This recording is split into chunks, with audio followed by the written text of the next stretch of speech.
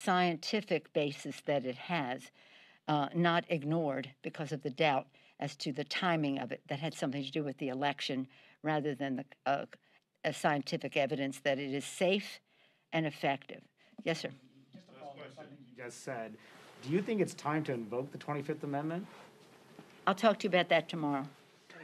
I'll talk to you about it tomorrow. I'm not talking about it today, except to tell you, if you want to talk about that, we'll see you tomorrow. But you take me back to my point.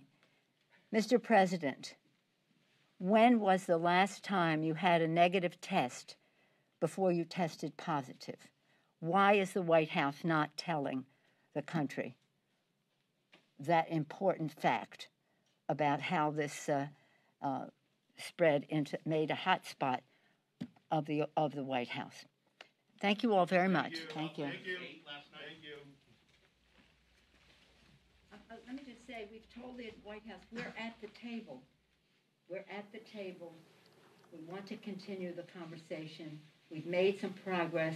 We're change, exchanging language, and then, so we'll see how the, how they come back. Thank you. Thank you. Thank you.